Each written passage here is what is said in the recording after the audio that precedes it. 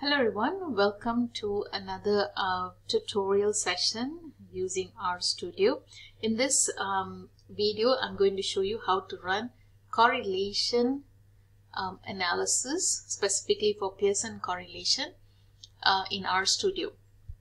Okay, as usual, the very first step uh, to run any analysis is to set or to specify your working directory or to specify where is your folder is being located. So for that, um, I'm going to select my folder. So I'm going to uh, click on this three uh, dots.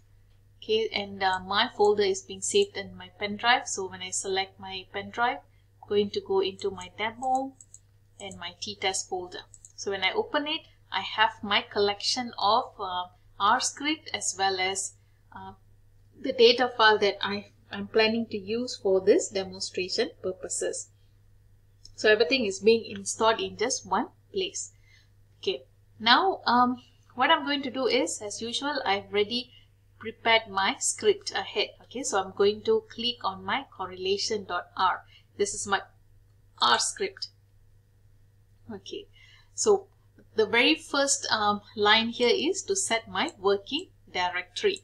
And this working directory will be um, on if you notice it is already being set at my G uh, G drive. G uh, or this is actually my pen drive. Okay so if this is not similar to or this is not the place that you have stored your file what you need to do is you have to make changes to the working directory. So how do you do that? You just have to delete the working directory that has been pre-defined. So what you need to do go find after you find your folder you already find your folder go to more set as your working directory. So this working directory will appear under the history tab as well as on your console. So highlight on the history uh, tab and then select to source. So it will automatically go to your source page. Sorry your uh, source page okay? Now next is load the library. So for this you need to also identify the library that you need to use for your analysis.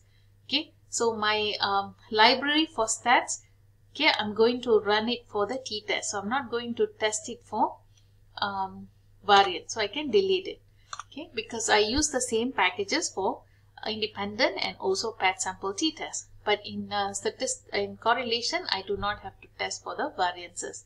So I'm only using the stats for t-test purposes. Next is library I'm calling activating the psych package because I want to run the descriptive analysis because I want to test for normality. Okay, so once I have uh, these three set, uh, three, um, sorry, I have set my working directory as well as the library, I can run it. Next is I have um, import data file into RStudio. So basically what I'm trying to do here is I'm trying to call in my data file into our studio. And my data is called data underscore correlation dot CSV format. Okay. So if you look at my uh, list of files, it is it is stated here data underscore correlation dot CSV. I'm telling RStudio please call this file in and label it as data. Again, I can change this data to any other names. If you notice, if I highlight the data, the, the subsequent lines are being highlighted as well. It's been like a blue box that appears, data, data. So if I change here, I can also change for the rest of it, okay? But I have to go through the uh, find and replace option. Okay, now I'm going to call in my data. Okay, so how do I know that my data has been imported? Okay, it appears on my console. So if it is in blue, meaning there is no error. Okay, if I go to environment, under data, it already been imported. So if I click on the data, I have three different variables, motivation, self-esteem and participant. If I scroll down, I have 20 observations. So 20 participants and each of these participants, I, in, I extracted two different information. One of them is motivation, the other one is self-esteem. Okay, so I know that I've successfully uh, imported it. Now I want to test the assumptions. So for correlation analysis, you need to test two assumptions. Firstly is normality and the test of independence. So normality, I would like to check whether these two variables that is being collected from the participant are normally distributed. So how do I know it is normally distributed or not? By looking at the skewness value. The skewness value has to be within plus minus 1, the range of plus minus 1. So if they are, the value is between that range, meaning these two variables are normally distributed okay so for that i'm telling i'm asking a function from psych package. Please describe for me the motivation value motivation variable that is from data uh, from my data file. Okay and also please describe self-esteem from my data file. So for both of them highlight it and select run. So once you run it if you notice under the console, you have two sets of information. One is for variable 1 and variable 2. You have number of observation, the means, blah blah blah until the skewness for both the variables. So both of them are within the range of plus minus 1. Therefore, both of both motivation and self-esteem variables are normally distributed. Okay, next is test of independence. So test of independence meaning that the observation that you get in your data, it is not influenced by another participant. So participant 20's responses are not influenced by the responses from participant number uh, 18 or number 3. So each of them are in uh, responding or giving information about motivation and self-esteem by themselves. They are not being influenced by anyone else. Okay.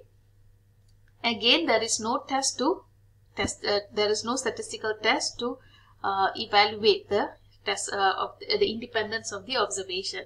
So we assume that independence is being met based on the way that we collected our data. So once we have met the assumptions for normality and independence, we can run the analysis, the correlation analysis. So I'm telling um, the stats package, okay, please run correlation test, okay, for both these two, both for the, these two selected variables, motivation from the data set, self-esteem from the data set. Okay, so when I uh, select these two and run, I'll get a results under the console. So here it says that Pearson product moment correlation. Okay, the data between these two, uh, the correlation between motivation and self-esteem. It provides you the T degrees of freedom and p-value. Okay, so the p-value shows that it is less than 0.05. It shows when it's less than 0.05, there is a significant relationship between motivation and self-esteem. So, um, what is the what is the the the correlation coefficient? Okay, so when we say that okay, there is a relationship. So, what is the value of the relationship? So that is 0.72. Where do you get it? The sample estimates correlation 0.72. And if you notice, there is no negative sign, meaning there is a positive correlation between these two variables. But okay how uh, is is this relationship is strong moderate or weak relationship? What type of relationship? We have reported the direction. There is a positive correlation but and uh, with the 0.72 is it a big is it a strong correlation a weak correlation? Okay again you have to look at the cut off values. So cohen said that if it is anything greater than 0.5 it has a strong uh, relationship or strong correlation so in this case, the correlation coefficient is 0.72. So we can say that we have strong positive correlation or relationship between motivation and self-esteem. So it's actually trying to say that if your motivation is high, your self-esteem is also high. So if you're a motivated person, your self-esteem is also high. So if you have a self high self-esteem, of course your motivation will also go up. So that is why there is a positive relationship. So it tells you that both are moving on the same direction. If one is increasing, the other one is increasing. If you had a negative 0.72, that means you still have a strong negative relationship between motivation and self-esteem. So what does that mean? So the more motivated you are, the lower your self-esteem is. So me or low people with the lower self-esteem will have higher motivation, for example, because they are moving on the opposite direction. So, but if you look at uh, in this case it is a positive relationship meaning like if you have increase in one there will be also an increase on the other variable okay so hope it was clear okay uh, hope to see you in other um, tutorials regarding uh, uh, on RStudio so thank you very much